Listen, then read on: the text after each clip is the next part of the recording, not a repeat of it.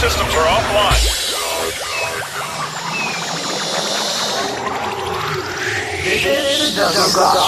Hey guys, good morning. This is me, Amber, and I just wanted to say good morning to everybody. Um, I just had my morning coffee, and welcome back to the Jungle oh my god. I'm just so excited, you guys, because this is going to be the first episode for this year, 2021. I have taken my good break for like two months because there were a lot of things going on uh, personally on my life and it just didn't feel right to like publish anything until I felt like myself. So yeah, I'm I guess I'm back. and I'm there there's like a lot of things that I really thought about talking here on the podcast because there there were just so many things happening even though life is still you know, still not normal. I mean, we're on the road to normalcy. Things are changing a little bit, but you know, I just wanted to talk about this specific thing. I woke up today, I had like a few weird dreams, and that's the thing about me. I just have like incredibly vivid dreams where I like dream about like monsters. Sometimes I dream about like a certain celebrity who just becomes my friend and then my lover. and then there are times when I dream about real people who I've never met but I interact with. And it's kind of strange that my mind would like bring to life people I just see on screen and then make them like a part of my life in my dreams. And I like to interpret dreams a lot. Like, I usually go to Google for this or like uh, refer to Sigmund Freud's book about dreams. But mostly it's all Google because I don't have the time to sc- skin, skim and scam, skim and scan um, Freud's books. So I just um, go to Google and like ask like, uh, let's say pencil dream meaning. I will always like put use the word the phrase dream meaning, and there are a lot of things that our dreams would indicate. But this podcast isn't isn't about dreams. Actually, I, I the topic that I wanted to talk about was it's already two minutes, almost three minutes, and I've talked about a completely different topic. Um, this is all about that few seconds of bravery that pushes you to do something you're scared of. I don't know what it's exactly called. Um, but earlier in 2013 or 14, I think, um, I'd like to start by saying I love Lily Allen so much. I love Lily Allen ever since LDN. I love her so much. Smile was a great song for me when I was dealing with things, and it's just, she just shaped part of my personality. And it is an understatement if I say it's, she didn't raise me. because prac practically I was raised by music. Most of my thought processes and most of the things that I've gone through my life was um, narrated or supported by music. And Lily Allen has such a huge impact for me.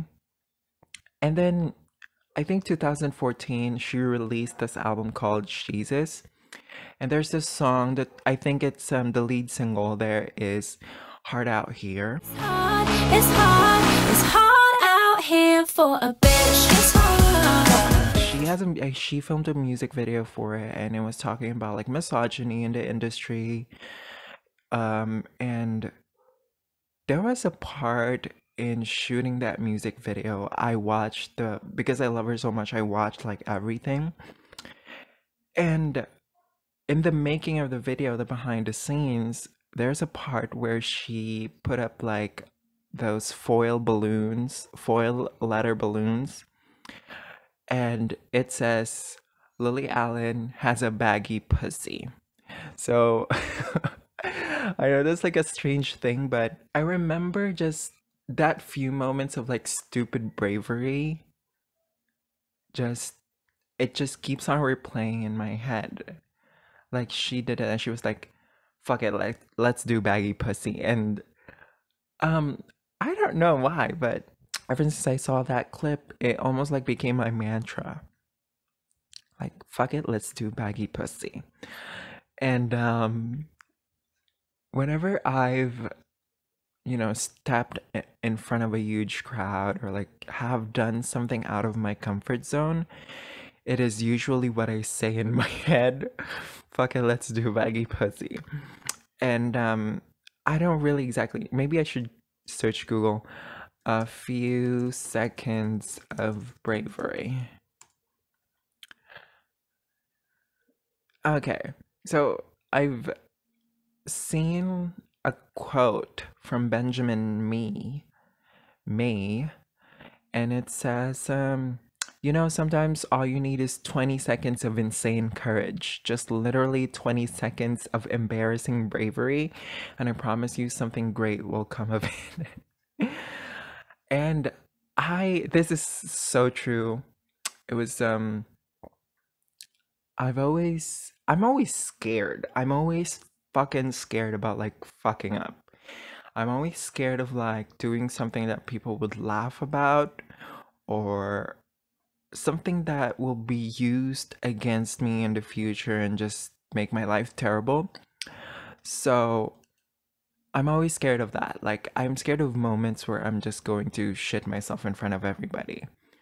And for me, I'm like incredibly introverted. I hate most people. I don't really like, you know, talking to other people unless I get paid. but um the thing is when I do these things, I always think about how am I going to be out of my comfort zone if I just keep on like you know, after school I just go home and just like stay at home. And that's why this um quarantine although it's different because it's enforced, it's forced uh staying at home. Um I kind of feel a little okay about it because I've always done this my entire life. I'm just at home and just not, you know, just minding my own business and I've never been one to be out in public and just go crazy, but there were times when I was just fuck it, let's do baggy pussy. so there are times that I can note I done this, I've done this like every time I'm I'm doing like an uh, hosting or emceeing an event. Um, I got paid for some of these events, and let me just say, I hate emceeing. Like when something goes incredibly you know, out of the program, you really need to be quick and sharp and witty to just make things flow in the right direction because you're carrying everybody's energy in the entire event. So for me, the thing about emceeing or hosting an event is um being able to guide everyone in the right direction of the event. Like when I say the right direction, I mean the right mood, still going through the program and just trying to close it up as clean as possible without someone going on stage and snatching off the mic off your hand. so I've I've I've had different experiences with that. Like I there are trainings when like somebody would, you know, s- s- probably a trainer or like someone who's a guest speaker would like speak out of turn and just like, you know, say s- stupid stuff. Let's just say that. And I would always go to like, you know, make the room laugh and just make it lighter because sometimes people have this they don't know that they would darken up the mood and just, you know, cause like something negative. So I always I've always done that. I've always like wanted to do emceeing because I have and had the power to like twist any situation around and that's what I look forward to every time I d- I've done emceeing. And yeah, I love it. I think I'm comfortable use, using having a mic in my hand because I can't be a singer. That's the only thing I can do with a microphone in front of my hands in front of everybody. So it's close to the dream of being Hannah Montana, but not really. and um, yeah, usually when I do these things, I'm just so scared things would go wrong. Like sometimes I like staying behind a podium because my legs would fucking shake. They would shake there was one time I gave a speech in front of everybody at school. It's I think it's um an acquaintance party. And I was in front of everybody. I was on stage and my leg was shaking, but I still delivered. So and people noticed it. So sometimes I just have to like co- control my bodily movements when I'm doing MC and stuff. I think it's more about being comfortable in like the specific event and you're going going to MC for. So those are one of the things. Another thing that I do or have done is this pageant thing that I won. And pageants are intense. Pageants are freaking crazy. There's just so much work behind stage that people don't know and that what that is what made me appreciate the art of it even more is because pageants are not just some show show off parade thing where people with beautiful faces would go in front of everybody and say stuff. You know there's so much prep- preparation that goes into it. And i was able to i'm lucky enough to be able to participate on both ends being on backstage and being a contestant. So i design um i have designed like backdrops. I usually operate the LED wall and there's one pageant in our school and it's just so satisfying and nerve-wracking at the same time. Like i remember when we were doing like because it has to be synchronized. Everything must be in place must be in order must be according to what was rehearsed because I display one thing wrong in front of that LED wall and people would freak out. So again, I'm shitting myself every time I'm doing something that involves being in, you know, doing something that may, might be used against me or people may will make fun of me of. So I always like it's easier being backstage because I can like manipulate stuff before they appear in front of everybody and i'm so satisfied with my breakfast. I keep on burping. So yeah i love the feeling that i'm able to just and, and the last one that i did it was really fun because we had this i i don't know if it's called but we have an intercom.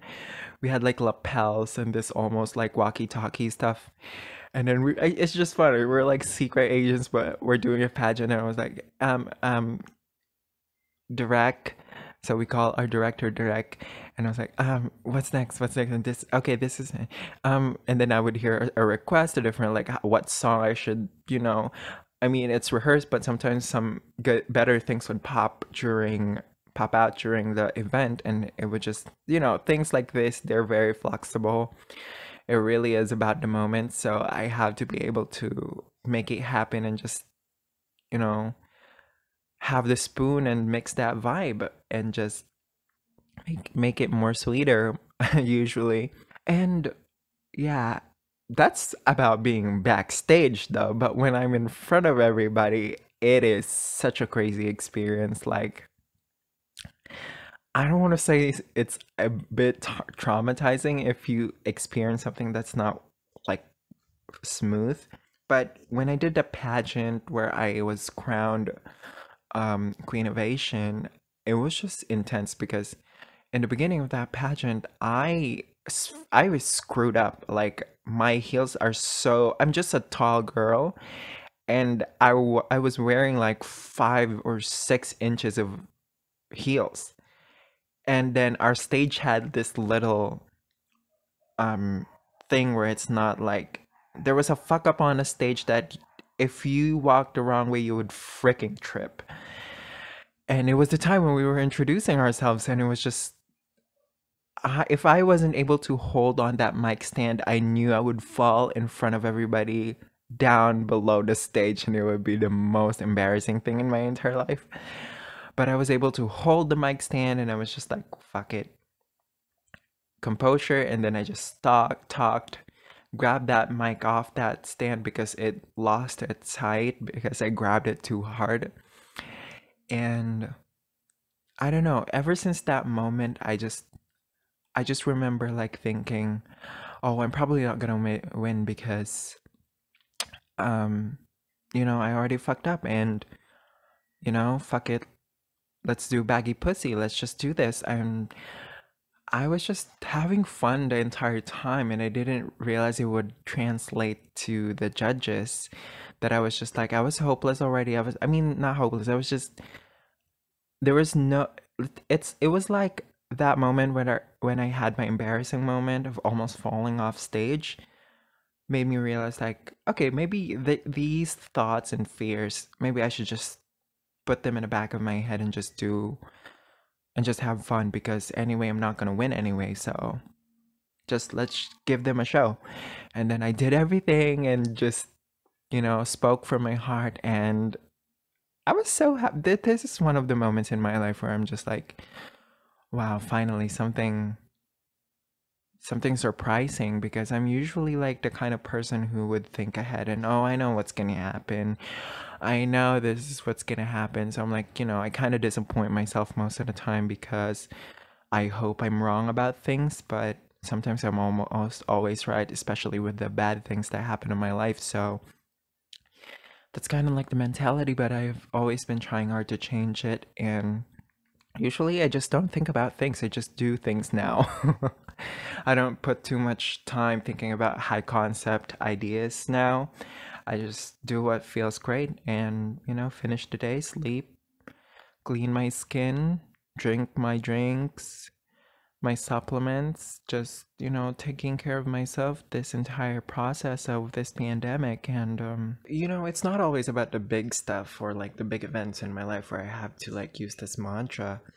Sometimes when I'm going out in public, um, you know, I recently transitioned and it's just, I have to push myself out of a mental fence just to go out in public and look like myself and be a woman it's just fucking uncomfortable in the beginning because I would get so much attention. Like I remember these two when I was with my friends and these dudes were like almost in an accident because they were they were staring at me and just like you know the attention is intense and I've like especially with me because I'm a tower and then I would wear heels and it just it just looked entirely different.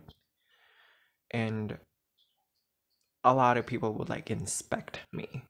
And that's incredibly uncomfortable because you know it's like i always have to push myself out of a mental fence when i'm going out of the house dressed as me as a trans woman. And it's it's becoming more comfortable now because you know i always just use fuck it let's do baggy pussy and i'm glad i have this mantra to just like push myself and become this little nudge that I need for myself because it's not always like I can hang out with my friends and they could be like my comfort crowd and just, you know, shield myself from people.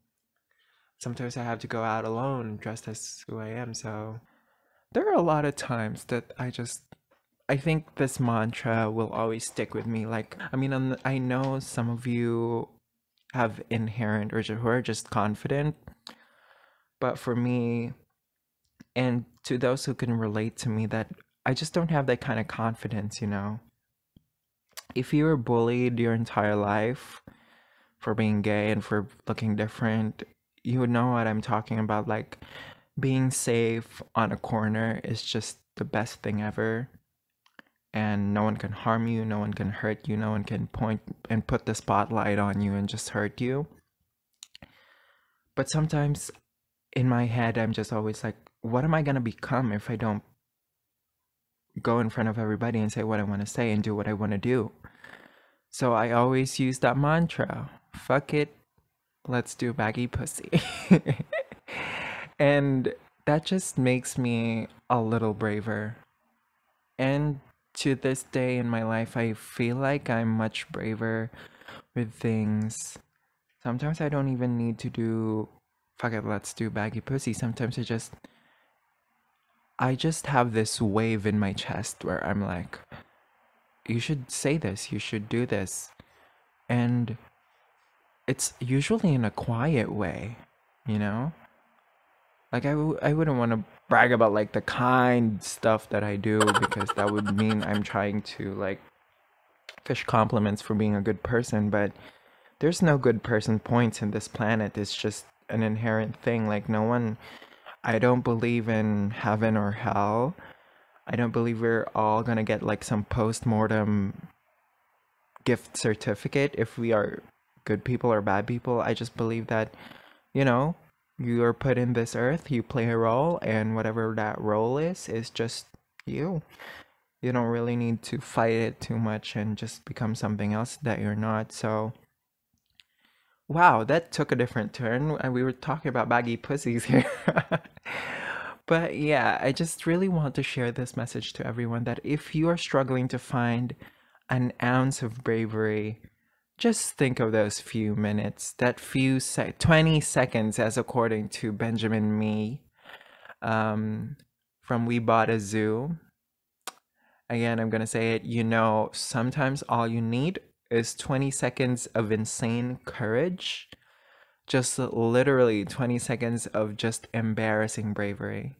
And I promise you, something great will come of it. And that's the thing about my life. You know, all of these like phenomenal things that happen to my life is caused by embarrassing bravery. And um i'm glad i had that kind of um thought process. And i wish everyone would be brave. I know it's something you can impose to people. And um i just really want to say that the braver we are the more change will come and appear in our lives and all my life, I've always been afraid of being stuck. So the key is 20 seconds of embarrassing bravery. and that's it for this episode. I hope you guys enjoy the first episode of our 2021. Um, I want to call this season two already. and yeah, thank you for still listening to me. I know sometimes I just talk about crazy stuff, but yeah, whatever pops out in my mind. I'm just like a kid. and I'm sorry, but yeah, this is me. I'm not gonna change for anybody, and yeah, thank you. And sending, I'm just sending love and light and digital warm hugs to everyone who's just struggling right now. Nothing is permanent. No pain is permanent. So if you're ever if you're ever in a bad spot right now, I just want to remind you I used to be in like crazy times where I thought I was just going to end up you know, ending myself because things are not going well according to my plan or like it's not going good. So, but right now I'm in a good place and yeah, things will change. Just like the Taylor Swift song. And you guys better stream Taylor's version of Fearless. That's it. Bye.